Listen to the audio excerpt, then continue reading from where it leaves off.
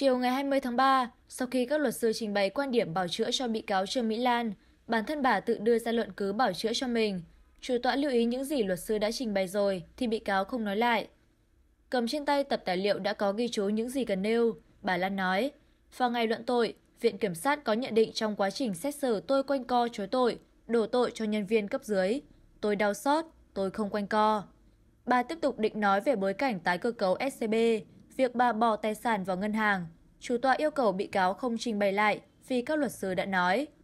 Tiếp tục tự bảo chữa, bị cáo Lan nói, ở trại tạm giam, trái tim tôi dỉ máu. Làm sao để cho người ta mang tiền vào SCB?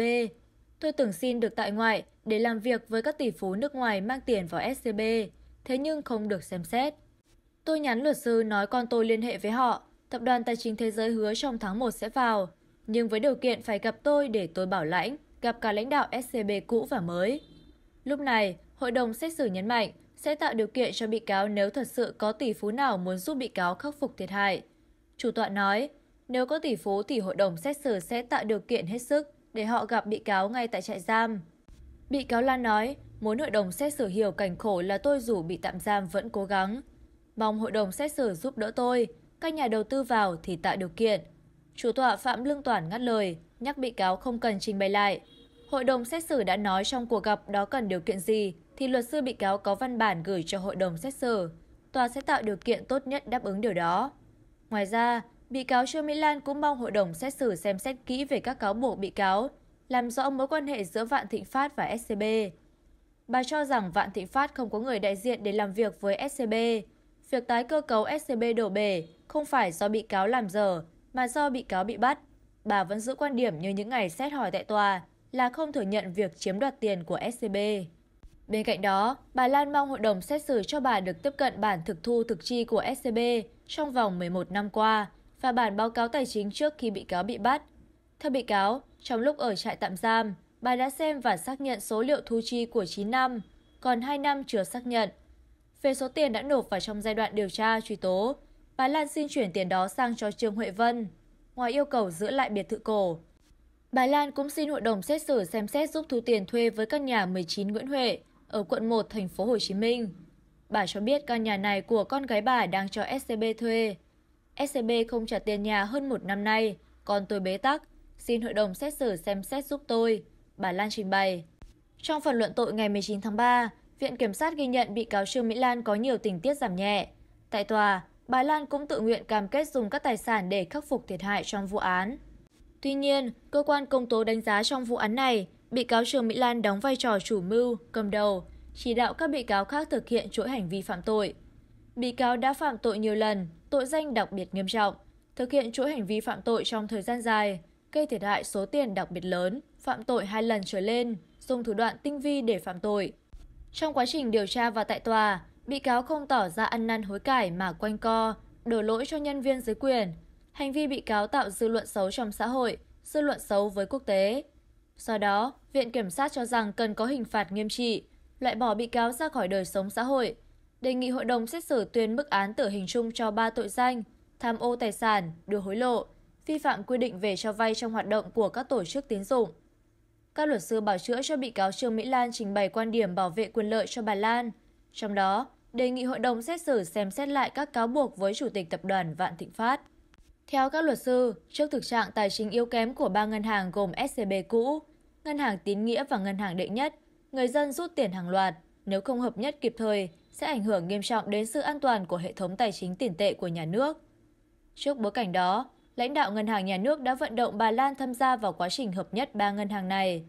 Bởi những người này cho rằng chỉ có bà Lan mới đủ điều kiện vì có đủ tài sản, có uy tín trong và ngoài nước để tham gia vào quá trình hợp nhất thành công.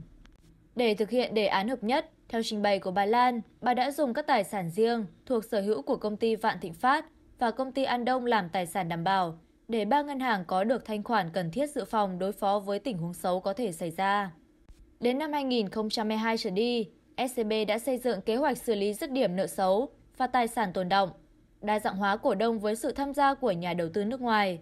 Tuy nhiên, trước khi đề án cơ cấu 2022 đến 2028 được phê duyệt, bà Lan bị khởi tố.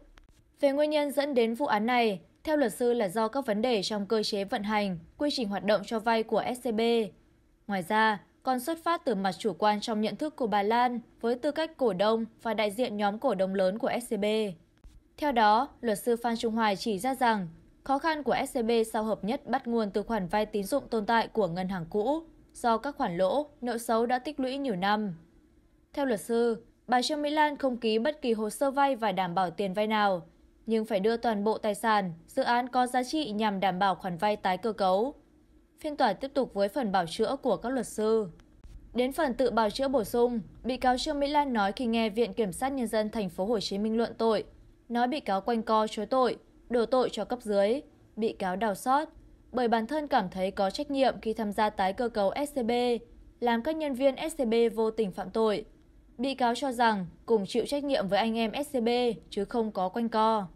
Bị cáo Trương Mỹ Lan nhiều lần nhắc đến việc có tổ chức tài chính, nhà đầu tư sẽ tham gia vào khắc phục hậu quả vụ án. Hội đồng xét xử nhấn mạnh, nếu có hội đồng xét xử sẽ tạo điều kiện ngay.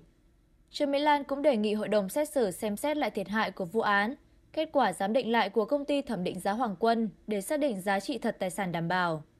Về tòa nhà 19 Nguyễn Huệ, quận 1, thành phố Hồ Chí Minh đang cho SCB thuê. Bị cáo Trương Mỹ Lan nói căn nhà này được mẹ mua cho con. Nay mẹ bị cáo đã mất nên bị cáo muốn giữ căn nhà này cho các con. Vì vậy, ngoài việc đề nghị giải tỏa kê biên, căn biệt thự cổ 112 Võ Văn Tần, quận 3, thành phố Hồ Chí Minh. Để bảo tồn di tích lịch sử, bị cáo đề nghị giải tỏa kê biên tòa nhà 19 Nguyễn Huệ. Tại phiên tòa ngày 11, luật sư bảo chữa cho một số bị cáo đang bị truy nã như bị cáo Đinh Văn Thành, cựu chủ tịch SCB, Nguyễn Thị Thu Sương, cựu chủ tịch hội đồng quản trị SCB, Trầm Thích Tồn, thành viên hội đồng quản trị SCB trình bày. Các luật sư đã tích cực liên hệ gia đình, đề nghị cung cấp các chứng cứ gỡ tội, thế nhưng không được hồi đáp. Tại tòa, luật sư bảo chữa cho các bị cáo này không tranh luận về tội danh mà cáo trạng truy tố. Do các bị cáo đang bỏ trốn, nên các luật sư không biết được ý chí của các bị cáo khi thực hiện hành vi là như thế nào. Việc kết tội các bị cáo chỉ dựa trên các hồ sơ, lời khai của các bị cáo khác. Theo luật sư, các bị cáo đều tuân theo sự chỉ đạo của cấp trên. Các bị cáo đều là người làm công ăn lương. Các bị cáo không hưởng lợi từ việc phạm tội, mà chỉ hưởng lương theo quy định. Giữa các bị cáo không có sự thỏa thuận cụ thể về việc phạm tội. Tại tòa, luật sư bảo chữa cho bị cáo Trương Huệ Vân, Tổng Giám đốc Tập đoàn Vạn Thịnh Phát, không tranh luận về tội danh. Tuy nhiên, đề nghị hội đồng xét xử xem xét lại mức án cáo buộc đối với bị cáo là quá nghiêm khắc. Cần phân hóa rõ hơn vai trò, trách nhiệm của bị cáo. Bị cáo không làm việc trực tiếp với SCB, nên không thể biết rõ các sai phạm liên quan. Luật sư bảo chữa cho rằng, bị cáo Trương Huệ Vân hoàn toàn tin tưởng vào bị cáo Trương Mỹ Lan, được bị cáo Trương Mỹ Lan nuôi ăn học từ nhỏ. Gọi bị cáo Lan là mẹ, thế nên bị cáo luôn nghe lời bị cáo Lan, bị cáo hoàn toàn lệ thuộc. Sau đó, luật sư đề nghị xem xét lại các tình tiết tăng nặng đề nghị đối với bị cáo. Còn luật sư bảo chữa cho bị cáo Tạ Chiêu Trung, nguyên thành viên hội đồng quản trị SCB, cũng cho rằng bị cáo là người làm công ăn lương, không được hưởng lợi và chủ động khai báo từ khi vụ việc xảy ra. Theo luật sư, khi thấy các sai phạm, bị cáo Tạ Chiêu Trung đã có ý thức phản đối không thông qua các cuộc họp hội đồng quản trị, nhưng các cuộc họp vẫn được thông qua, cho thấy vai trò của bị cáo trong vụ án là không đáng kể. Luật sư cũng đề nghị xem xét lại việc sử dụng kết quả thẩm định giá của công ty Hoàng Quân, đề nghị xem xét thêm các tình tiết giảm nhẹ cho bị cáo Trung, để bị cáo có một mức hình phạt khoan hồng nhất. Luật sư bảo chữa cho bị cáo Nguyễn Văn Du là cựu quyền tránh thanh tra cơ quan thanh tra giám sát ngân hàng cho rằng không tranh luận về tội danh mà chỉ đề nghị hội đồng xét xử xem xét về hoàn cảnh của bị cáo Du. Theo luật sư, thời điểm đó bị cáo Du mới tiếp nhận công việc, các kết quả thanh tra đều đã được thông qua, bị cáo chỉ là người ký ban hành sau cùng về mặt thủ tục.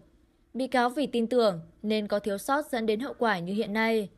Luật sư cho rằng bị cáo là người có chức vụ quyền hạn duy nhất trong vụ án không nhận tiền, không được hưởng lợi.